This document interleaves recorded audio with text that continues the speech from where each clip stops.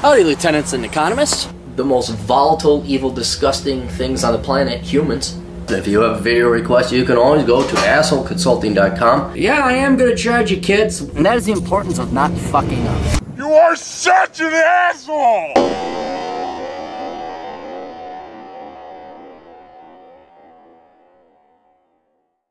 All right, getting to some of. The, if you thought two days ago was was deep and philosophical, I've saved these because they're to take a while. I might not even get to them all today. Hi, Aaron. I got this video request for you. I already know the answer, but could you make a video on your existentialistic views and reasons on this question? Should you feel sorry for people? She mentioned it vaguely. The biggest mistake my mother made in the 90s was meeting my dad, as she will never admit it. He, he he's run guys you gotta fucking spell. He's ruining her life? He ruining he life is what you spelled. I think you mean he's ruining her life. Stole $150000 in indemnity money from as a pre-me baby and ruined our lives for 18 years. Well she chose him guys this it, all right all right. And anyway, she went from having a net worth of 1 million US dollars to becoming homeless in the beginning of the recession. She did it all and feeling sorry for him. I'm in my mid 20s now and grown up at that point. But the point is that you went through something similar with school and three jobs, all including security. Dude, I, I wish I had someone in my family that had a million dollars. I'd settle for the 150,000 indemnity money. I don't even know what indemnity money is. I don't think anyone in my family um, except for now adjusting for inflation. Maybe my grandpa had some money, but no. Uh, the uh, the Clarey uh, 1975 model has not seen six figures. Um, One million almost become homeless. Uh, but the point is that you went through something similar with school and three jobs, including all security. No, I didn't. I didn't go through my dad or my mom or any one of my family member, uh, any one of my family members stealing money like that or being crazy. Never, never that. my, my parents were not abusive. I did not come from an abusive home. I came from a you know, uh, not not dirt poor home, but it was a lower middle class. And then we got we got luckier as we got older, um, but not by much. Uh, but uh, no, I there was no nobody was stealing money, making people go bankrupt, nothing like that. Not to be sound mopey I'm, I'm reading it like he writes it, guys. Not to be sound mopey or depressing, I'm giving you some foundation for the question. Revise, can you rant about your opinion on why you shouldn't or should help people and feel sorry for them? And ergo throw yourself under the bus to help them. Uh, I reckon it's odd because once you said you owe it to society to be a good person, however, express signs of hedonism and self-interest, individuality. All right, let me let me explain how I have a general policy of not helping people because for the most part, people are the cause of their own problems. They're the ones that brought upon themselves. And more importantly than that, why I don't help out people is because they will never learn unless they suffer the full consequences. And even more importantly than that, when I have tried to help people, how many here in the audience tried to help someone and they didn't listen to you? And they, they didn't turn it around or they didn't do what was needed to be done. People are lazy. That's that's the one thing. People are too lazy even to help their own goddamn selves. And I'm not going to piss away a second of my precious finite life on this planet wasting it on someone who doesn't want to who's not going to take my help, doesn't deserve my help, and even if I gave him my help, won't do anything with it. This is why I charge at Asshole Consulting. So when you guys jerk off to the advice I give you and you throw it in the garbage, I don't care. I really don't. You paid me. I got money. So, so I, that's that's how I, you know, and then people have followed my advice and they do good. Then I save those emails because it's like awesome. Um, so I don't, in in a general policy, I do not believe in helping out people. I do not feel sorry for people, uh, and I will never ever throw myself under the bus to help someone because there's no reason for you to hurt or cripple yourself uh, to maybe or may not help out somebody. And if you look at statistics, 98% of the cases, you may not.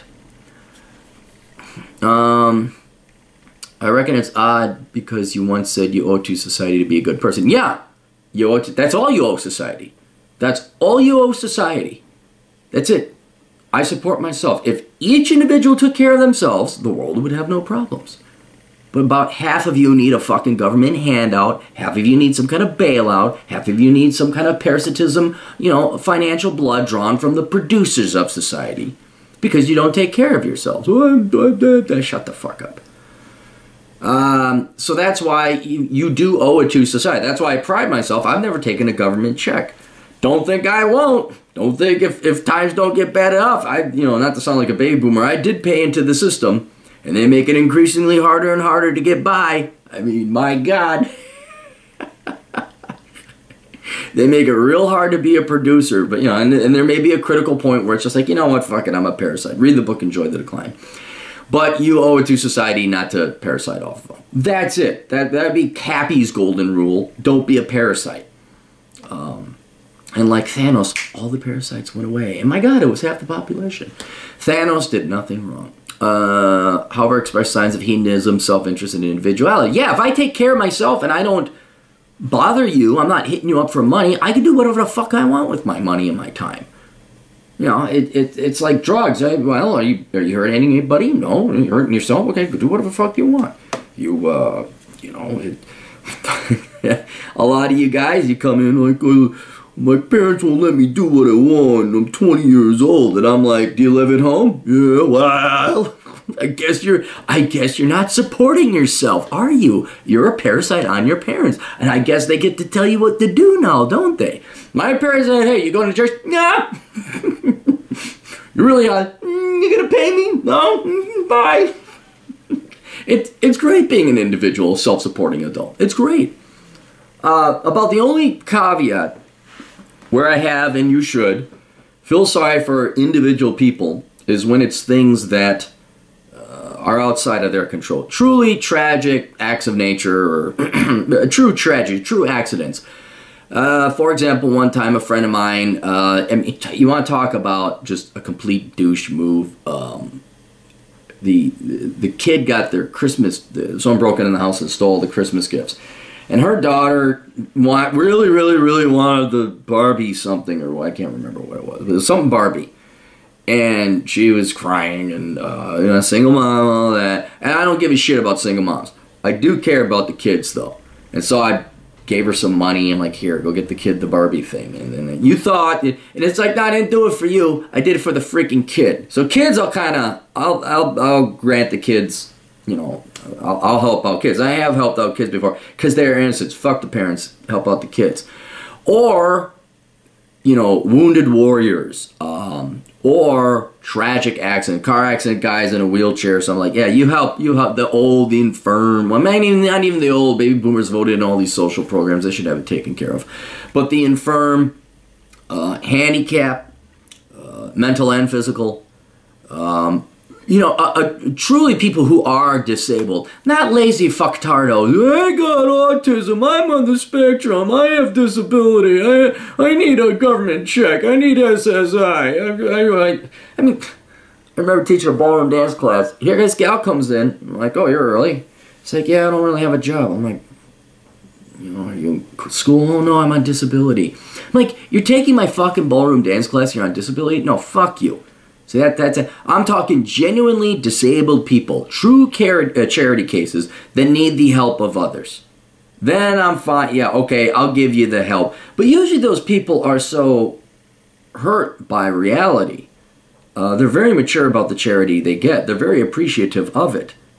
Although kids, you know, kids are kids. You know, they don't know much about finances. But um, they're not going to they'll be appreciative of what you have. And they won't lie they won't hide behind excuses. Oh i'm this i'm oppressed i have a disease i have a i got that kind of plumbing not this kind of plumbing. I believe i have this kind of plumbing. Well i'd like to have that kind of plumbing but i'm trapped in a body with this type of plumbing. Give me money.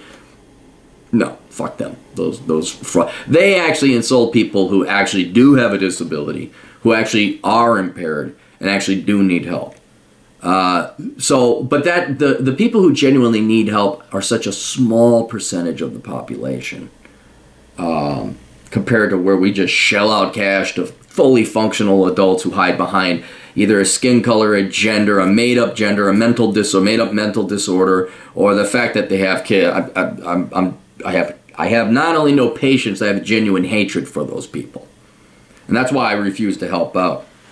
Went down south to. Oh, it was a brewery. It was a brewery on Como and Hennepin. No, Hennepin and Larpenteur. Some brewery, standard millennial brewery. Lots of beards, lots of flannel. And you just walk in. They had you know uh, food trucks and music and, and, and beer and all that. And yeah, there's a five dollar donation that's optional. It goes to help the community share. Nope, nope. Oh, okay, because I see your your community's a real piece of shit.